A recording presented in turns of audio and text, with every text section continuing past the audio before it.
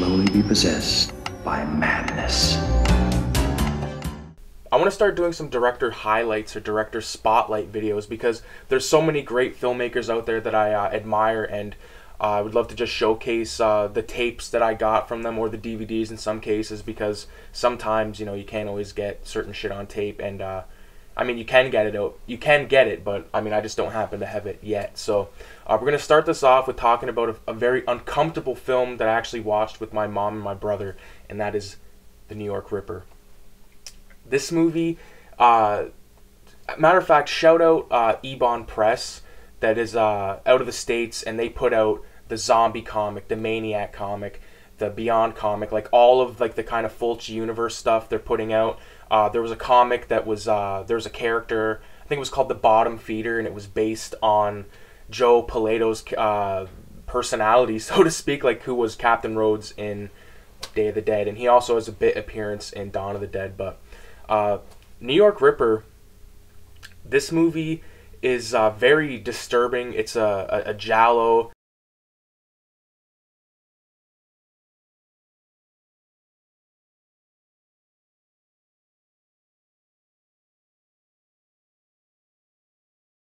It's uh, a, about a serial killer. Like the, the, the whole giallo thing is still like I'm not that deep yet, you know what I mean, in terms of my knowledge on that that subgenre of film because uh, there's so many goddamn good ones. There's so many ones in general out there, you know. So uh, I I just actually got a new one the other day, or for Christmas for my girlfriend. It's called uh, The Iguana and the Tongue of Fire, which I've yet to watch, put out by Arrow.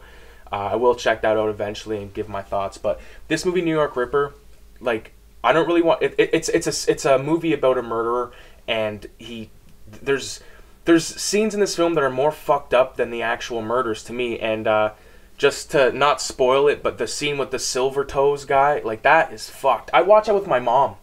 You know what i mean? Like i once watched pink flamingos with my mom and my grandpa and my grandpa like he thought it was fucked. Like he thought it was a riot. He was laughing his ass off the whole time but i was just like this is fucked and that was my that was a movie of my uncle mike's and he showed it to my grandpa my grandpa just thought it was the fucking fucked. So he had to show us. My little brother's like five years old watching that, but crazy shit. Uh, New York Ripper. There's a really good uh, edition. I think it was Blue Underground that just put it out. I want to get that eventually, but uh, for right now, I'm just rocking with the DVD-R. So, moving on to the Gates of Hell trilogy, uh, starting with City of the Living Dead, The Beyond, and then House by the Cemetery. This is an amazing trilogy. Uh, I wouldn't recommend it to uh, your like your entry your entry level horror fans because it is kind of especially Gates of Hell like you're like right it's right off the gate you're gonna be like what the fuck's going on but once you realize you're looking at like two two stories happening at once or, or, or two two chain of events happening at the same time until they meet up you know what I mean so uh, once you can get your head around that, you, are golden. I mean, I wish I knew the, the name of the special effects artists in these films off by head, and that's a shame that I don't because I do respect these films so much, and uh, I, I love the process and all that stuff. So uh, I definitely need to chop, uh, you know, brush up on my my special effects wizard chops, if you want to call it that. But uh, it starts off with City of the Living Dead, which has Christopher George, who of course is in Pieces. He's in uh, countless other films from the early 80s and late 70s, I believe. He, passed away in the early 80s, I believe. Like by 83, I think he had cheesed by then. But uh, he, he plays like a, an investigator, an investigative reporter kind of guy. And uh, he's just trying to get, get the scoop, so to speak. And then at the other uh, he he links like the fucked up thing about this movie it's all over the place first of all he he goes to a graveyard to investigate this girl's death and then ends up realizing that she's buried she's been buried alive and it's it's incredible. I love the two uh, cemetery worker guys. Hilarious like they're just sitting there eating ham sandwich over top of a dead body. It's it's insane but um, i actually think that the blonde haired guy of those two cemetery workers i think he was in cannibal holocaust.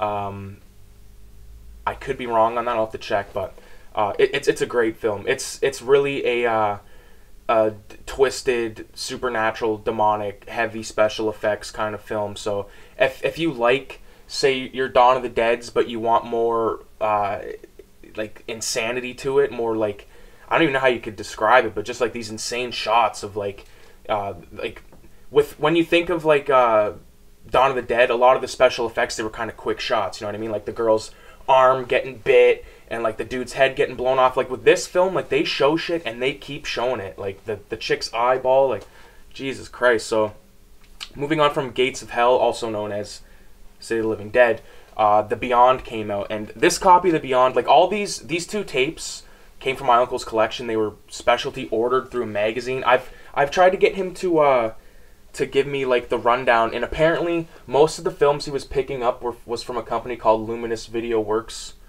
Uh, I know there's they're up here. Yeah, Luminous Film and Video Works. Works spelt with a U instead of a instead of an O, but uh, this one's actually put out by Cult Classic Frighteners. Uh, uh, Vipco. I guess it was Vipco, but yeah, hell of a cover. And this movie's, uh, I, I think like, like these movies go in order of how I enjoy them. So I love City, and then The Beyond is pretty dope, and then House is I'm okay with House, but uh, The Beyond is is more uh, clinical. Like th- when I think of The Beyond, I think of those scenes in the hospital, and, like the blood, like that little ginger chick, and it, it's just creepy, man. These these are movies where you just have to watch. You just have to watch them, man. Like they're so out there, and watch them uh, with an open mind because I know they can kind of be like if you if you're used to watching like Freddy Krueger and shit like this. This is not Freddy Krueger. This is like you know this is how what I would describe as like your Freddy Krueger and stuff is like your your a list, and what I mean by A list, I mean by like most well known. You know what I mean? Because most people, if you say Freddy Krueger, they know who Freddy Krueger is. You say Lucio Fulci, they might be going, huh? But uh, you know, the Beyond is it, it's it's crazy. It's it's fucking crazy. The chick with the like the blonde chick, she's actually gonna be at uh, Shockstock this year, so stay tuned for some cool shit about that. And then finally, we've got House by the Cemetery. I only have this on DVD, but uh, as you can see, I only paid seven bucks for it, and I've I've seen it even cheaper now since then. So uh, I got screwed, but this this one's pretty dope. It has an annoying kid. He's not as annoying as like the kid in the Babadook, but he can get kind of annoying. But I mean, th- their job is to be annoying, I guess, little bastards. But uh, yeah, I don't know. I would recommend the trilogy. Uh, but like I said, have an open mind if you've never experienced anything like this yet. Uh, finally, we're moving on to uh, Lucio Fulci's Zombie, also known as Zombie 2, also known as like the remake or uh, the the unofficial sequel to, to Dawn of the Dead, which uh, it's not, but it's unofficially fans say. I, I, I think it's pretty fucking dope, but I don't think it's an official sequel. I just think it's his Lucio Fulci's take on this zombie shit like to the fucking nth power, man. Like this this movie starts off with a bang, literally. Like if you've seen it, you know what I'm talking about. Uh, you got I'm blanking on the, on the dude's name, but he's like an English, once again, investigative reporter kind of guy, and uh, he, he's he gets involved in this with this broad whose father's lost on this island, and then they ended up going. They end up going to like they leave New York and go to an island somewhere, and they border they border a uh, or they charter a ship or a boat rather, and uh, from there they end up going to this island that's just been like totally riddled with with uh, doctors experiments and shit and voodoo magic, and it's just like like when doctors are experimenting with voodoo magic like it's not going to go good and you get some of the most iconic memorable zombies of all time. These zombies look like dirt. Like you know like the, remember back in the day when there was like that cinnamon challenge? Like people would take a spoonful of cinnamon and like they would spit it out instantly and their lips would be all covered with that shit? Like that's how these zombies look like they just look filthy and like the, the big fat zombie on the boat i love him he's probably my favorite in the movie and then of course you got like i don't know what you call him like maggot eye he's like the the zombie when you when you're talking about Lucio Fulci zombies. He's got the fucking maggots coming out of his eye. I actually did a drawing of that a long time ago. I wonder if I can find that shit.